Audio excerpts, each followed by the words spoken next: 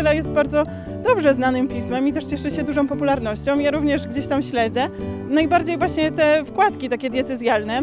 E, Ale jest to myślę, że bardzo właśnie dobre pismo, nie tylko dla, dla ludzi starszych, ale również każdy może znaleźć coś dla siebie, również właśnie ludzie młodzi. Jeśli chodzi o zdjęcia i redakcję, jest bardzo dobrze prowadzona niedziela. Myślę, że bez zarzutów. Zapraszamy do lektury najnowszego numeru niedzieli z datą 19 maja, a w nim zatrzymujemy się nad chrześcijańskimi korzeniami Europy, czyli w niedzieli innymi o Chrystusie w przestrzeni europejskiej. Tuż przed wyborami do Europarlamentu aktualne staje się pytanie, czy i jak realnie możemy zmienić Europę w bardziej chrześcijańską, gdzie tkwi przyczyna marginalizowania chrześcijaństwa, czy wystarczająco bronimy swoich przekonań religijnych, ważnych dla nas wartości. O tym w rozmowie z redaktorem naczelnym księdzem Jarosławem Grabowskim mówi politolog dr Michał Gierycz. W niedzieli piszemy o profanacjach w Polsce. Jesteśmy świadkami ataku na święty dla nas wizerunek na ikonę jasnogórską. Wydarzenie to wywołało w kraju powszechne oburzenie, fale komentarzy, ale i konkretne działania w postaci pozwów o obrazy uczuć religijnych. Więcej o tym wydarzeniu na łamach tygodnika katolickiego Niedziela. Niedziela akcentuje ważny problem ogólnoświatowy. Proces globalizacji, z którym mamy do czynienia od kilku dekad, dotyczy nie tylko wymiany technologii czy gospodarki, ale także przestępczości zorganizowanej. Włoski prokurator krajowy Giovanni Russo ostrzega przed lekceważeniem możliwej już obecności także w naszym kraju struktur mafijnych.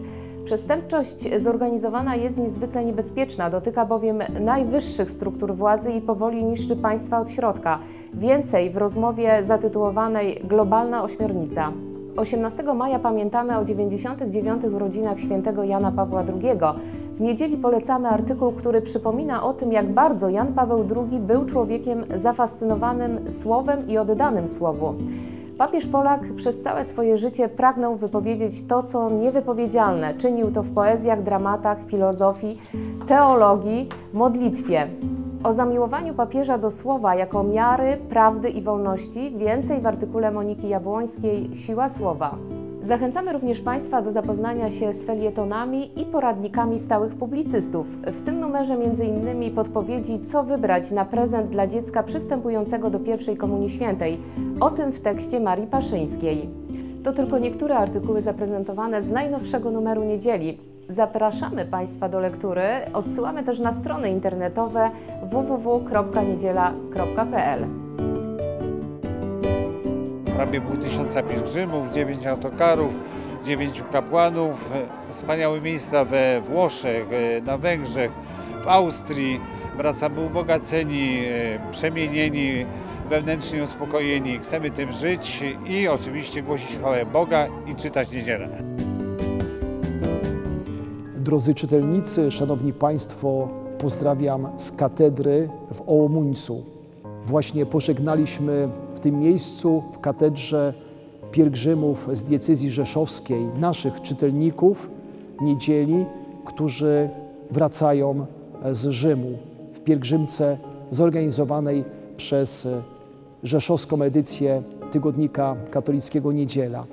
Trudno przejść obojętnie wobec ostatnich profanacji w Polsce, wobec tego, co miało miejsce w naszej ojczyźnie. Doczekaliśmy czasów, kiedy to, co święte, staje się środkiem do szerzenia różnych ideologii, by najbardziej, jak to możliwe, zranić uczucia religijne ludzi wierzących. Jakże to bolesne i trudne, szczególnie, że dzieje się to w naszej ojczyźnie, która jest ostoją chrześcijaństwa, dziedzictwa Starego Kontynentu. Piszę o tym także w kontekście bliskich już wyborów do Parlamentu Europejskiego. Jestem przekonany w tym świętym miejscu w katedrze w Ołomuńcu, że nasz stary kontynent będzie wierny Chrystusowi, jeśli my, ludzie wiary, dochowamy wierności Chrystusowi na co dzień.